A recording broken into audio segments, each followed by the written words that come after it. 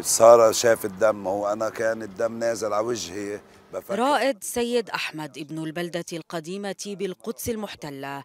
ضحية جديدة لإجرام وفلتان المستوطنين. نحو ثمانية مستوطنين اعترضوا طريقه في باب الخليل وانهالوا عليه بالضرب. نزلت على الدار الساعة 9 كانت بالليل. درج باب الخليل.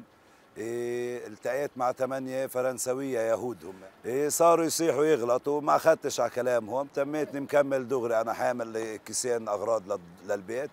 لقيت واحد فتحوا لي الطريق لقيت واحد رشني الغاز بوجهي وواحد ضربني زي شاكوش كبيرة بوجهي قلبت على الأرض.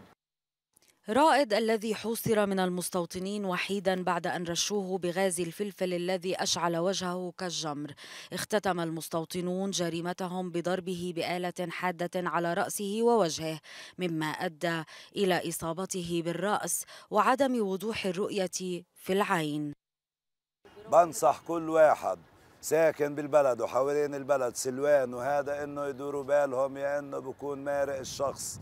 المستوطنين بكونوا مرئيين ما بتشك فيه إنه في غدر منه بطوب بكون الغاز بإيده. أول شيء بيستعملوا الغاز. الغاز الفلفل بيستعملوه لما بيستعملوا الغاز الفلفل خلص بيسيطر على كل الوضع.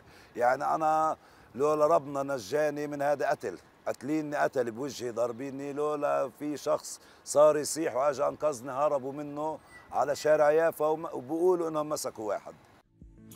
تتصاعد وتيرة الاعتداءات من قبل المستوطنين الذين أعلنوا عن نواياهم بمظاهرات غرب القدس المحتلة مطالبين بقتل العرب لنشهد كل يوم جريمة وتنكيلا جديدا يرتكب بحق المواطنين. جرائم بشعة ترتكب أمام أعين وكاميرات مراقبة الاحتلال في العاصمة المحتلة وإجراءات هشة تشجع المستوطنين على الاستمرار باستهداف المقدسيين. لانا كاملة القدس.